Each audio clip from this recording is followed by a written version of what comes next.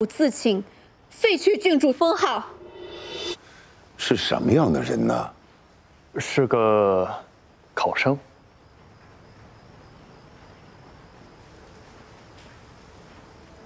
一个白身，出身确实不配，但尹征拿了那孩子送的文章，我瞧着还不错。是吗？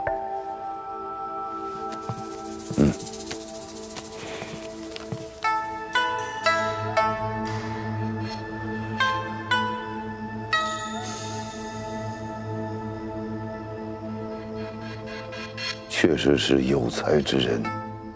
宋武莽撞，若能找个端方正直的人管着，妾以为倒挺合适的。可她毕竟是你的义女，姑也册封了她。你想想，一个郡主嫁与一个平头百姓，合适吗？嗯。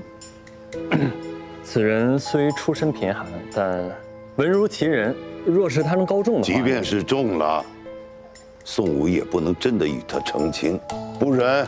新川的各个少主、郡主都要自由嫁娶，成何体统？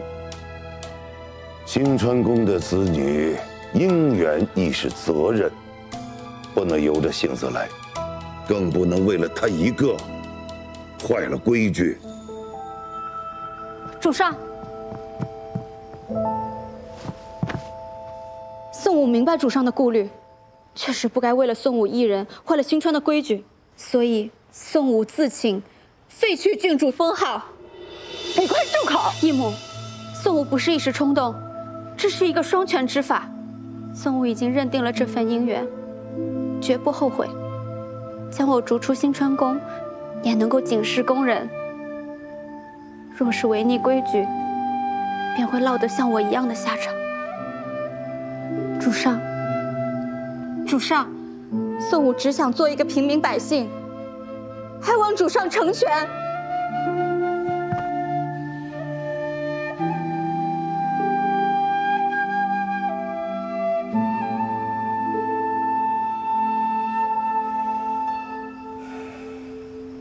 宋武，你方才所说的一切，不会后悔吗？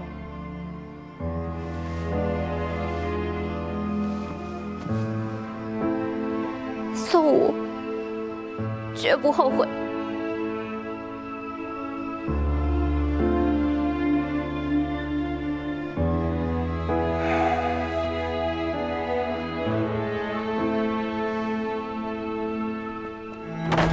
放我！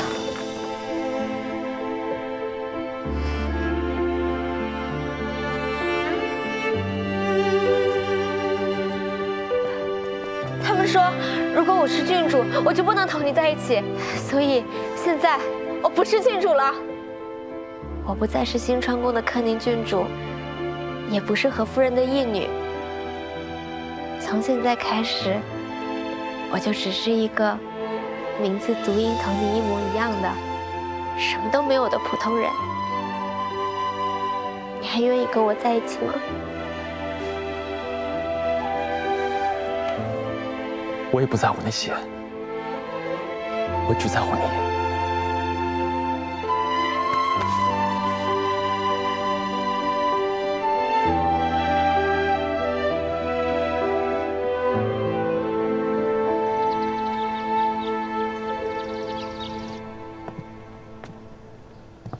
宋武敬兄长一盏茶，如今我只是一个平民百姓。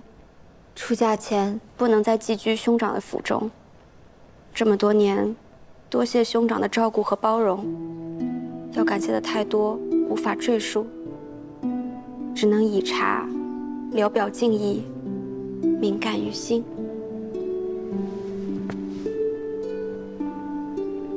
突然这么正经了，我还有些不适应。无论你是不是郡主。都是一家人，我永远都是你的正哥。嗯。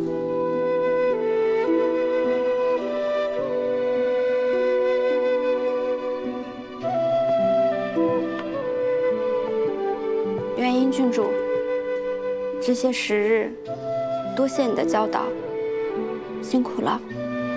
郡主，请用茶。这里以后依然是你的家，欢迎随时回来。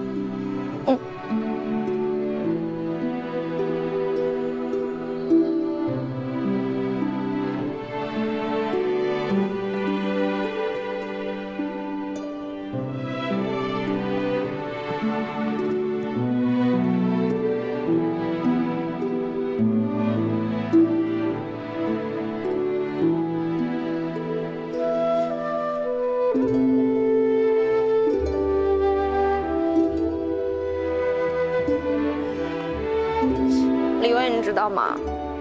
以前我真的很讨厌你，你才讨厌。都要走了，还说这种话。但是现在，我真的很舍不得你。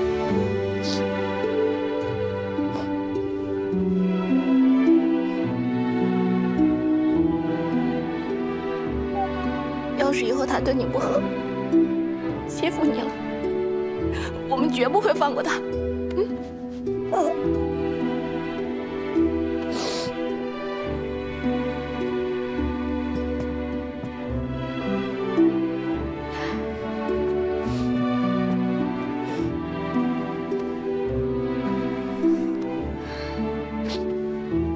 金蝉啊，金平，我的梯级钱会给你们留一份的，以后你们出宫了，给你们当嫁妆。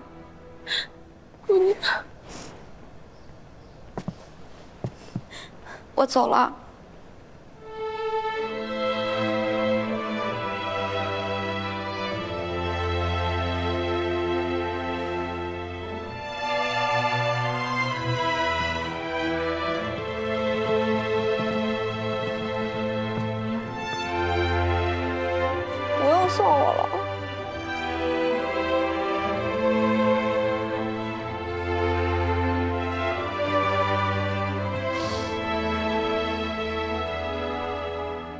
这些事，多谢各位的照顾。宋武，就此别过。